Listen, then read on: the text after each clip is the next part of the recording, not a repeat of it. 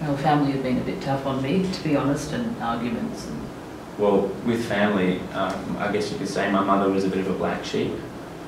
Um, my grandparents are both dead now, so I don't want to speak ill of the dead, but they were quite harsh on her. Um, and growing up, I didn't really know a lot of my extended family. I'd go down for a family reunion or a birthday, and I wouldn't know half the people there, you know. Uh, and of course, the, the arguments, there was a lot of arguments, a lot of fights that almost become physical. Um, my auntie Marlene was usually the voice of reason, but then her career took her around the world, and uh, in her absence, I suppose I kind of became the voice of reason because there was just nobody else to step up to the plate.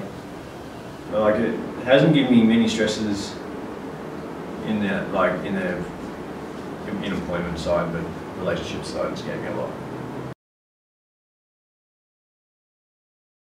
Uh, my mum has, but then other family members have been, yeah, a bit critical, like, oh, how come you haven't got a job and kind of thing. And, but my mum understands that in this area it's very difficult to find work in the Latrobe Valley.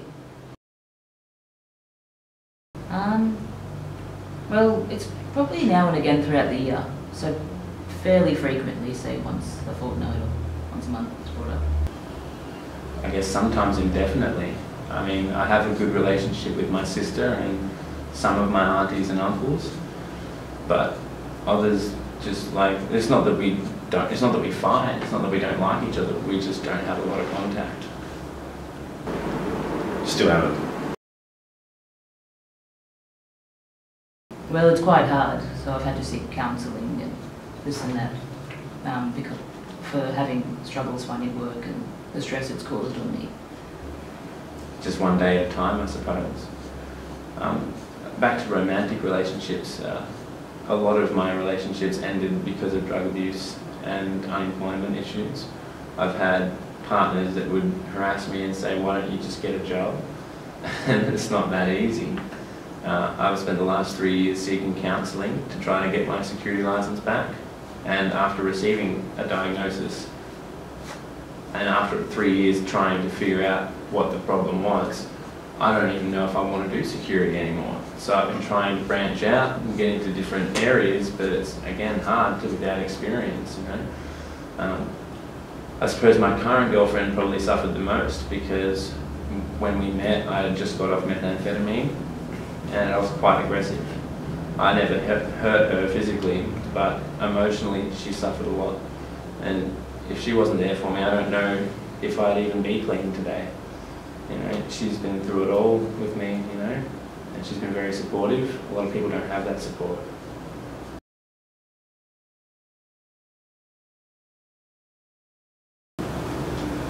No.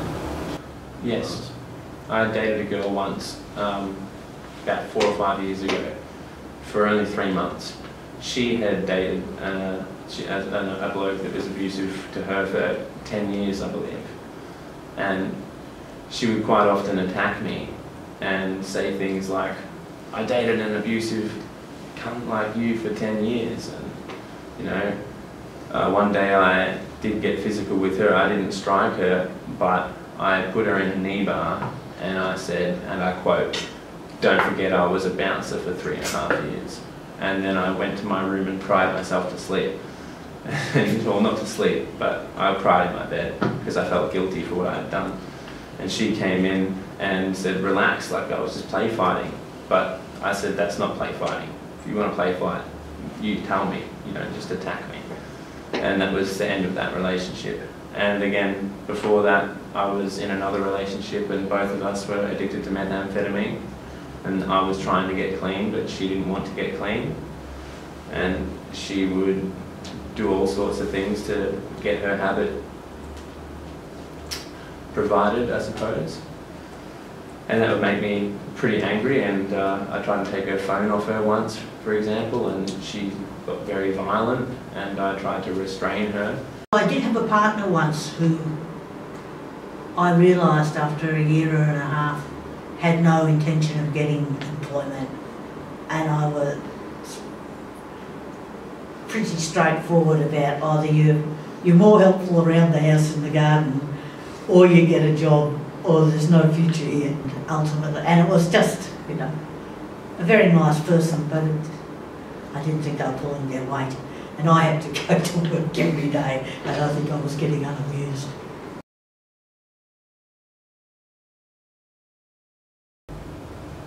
Um, a girl close to me did, but she left the relationship, so she's good now. She had to move to Melbourne. Yeah, my mother was in uh, a lot of abusive relationships actually, um, and for some reason would choose to stay with those men. And uh, when I was 14, I, I told her that um, the bloke that she was with, I said, it's, it's him or me, and she chose him. And so that was when I became homeless for the first time in my teenage years.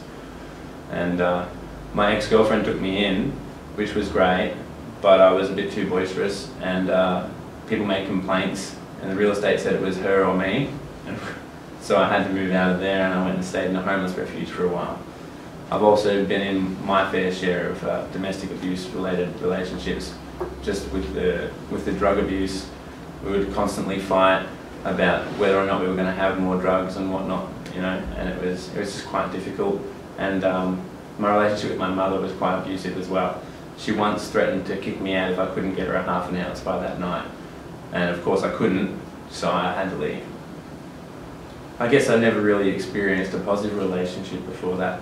So it, it's hard to leave what you know, you know? Um, we like to, people like to stay with what's familiar. Um, I mean, and also, also, if you love the person, it's very hard to sever those ties. I, I have been a victim for a period of time, a couple of years. I was domin. I was I was working at that time. It would have had some bearing on my attendance record suffering, and ultimately been given ultimatums, and I couldn't comply with them. So um, I resigned. I had an ex-missus who was very violent, very aggressive. Three o'clock in the morning, wake up to stomping on my face because I wasn't touching her and all that type of stuff. So that really set the anxiety off even worse. It probably would have been not been as many arguments, probably like half the amount. Probably all of them. Yeah, if we if we were both gainfully employed, we would have been able to pay all the bills. Probably would be busy most of the time, and so even if we were using substances, it would have been less frequently. When you smoke all day, every day, you can't afford that habit, so you have to do questionable things to pay for your habit. Some people that I knew would steal their food so that they didn't have to pay for food, and I had about $8,000 out on tick. If you're not familiar with that term, it's when the drug dealer gives you the product and you give them the money at a later date. But I didn't give him the money. so that was quite a hairy situation. I instead used all the product and I guess threw a party, if you will, that went for quite some time. And then I had to pay him off over the course of a year. Yes, I reckon it would have helped to maintain her issues by going to work and instead of just staying at home all the time, thinking of every issue that she has.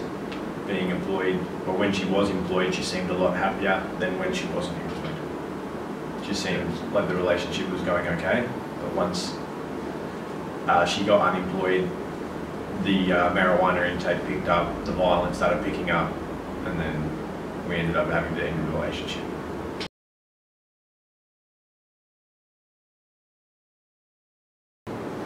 Probably not. It wasn't a very inspiring job, I might add. I, I think I was going brain dead bit doing it.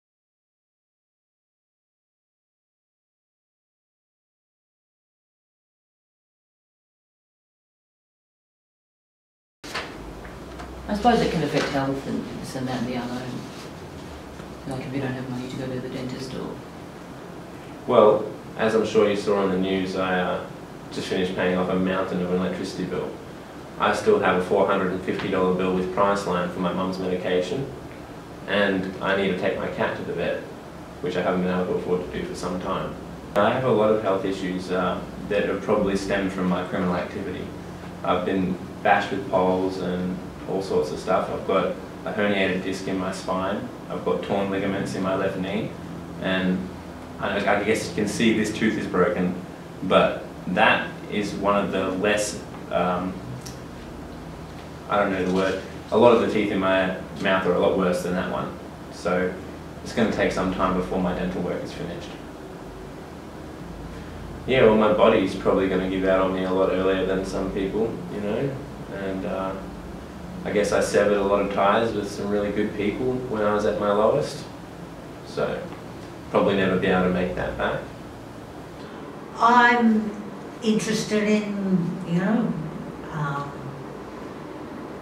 the arts and environmental issues and um, registered wildlife carer, but I can't afford to participate in those things any longer because I can't um, afford the petrol to go. So yeah, it is. It's a bit. I can do things online, but I worry that something will happen to the car and I won't be able to drive to get food or go to the doctor or anything like that. Um, if I die, I die. That doesn't, you know, you're out there and that's that. And the chances of dying of, say, something like a heart attack on a farm on your own are much higher than if you um, in a, a more highly populated place, perhaps. But that doesn't really worry me. I'm a bit of a fatalist. Whatever will be, will be.